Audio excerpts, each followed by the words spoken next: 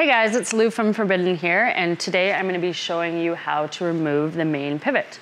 Um, you'll see that I have already removed the idler pulley here, and that the head of the shaft is a non-tool interface, which means we are gonna be working on the non-drive side. So the tools that you're gonna need today are gonna be a torque wrench, a 24 mil wrench, a 10 mil Allen key, and a 5 mil Allen key. So to start, we're gonna be taking the locking cover off with the 5 mil. And then you can just pop the cap off. So we're gonna use our 24 mil wrench on the nut and we're gonna put the 10 mil Allen key into the shaft. And then we're gonna spin the Allen key clockwise.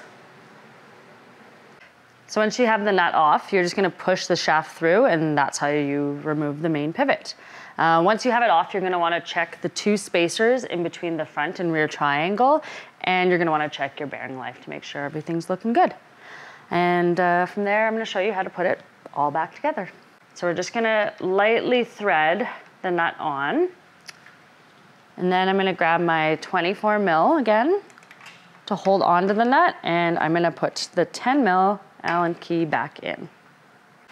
So once we've got the shaft snug into the nut, we're gonna grab our torque wrench set to 22 newton meters, and we're gonna tighten it down.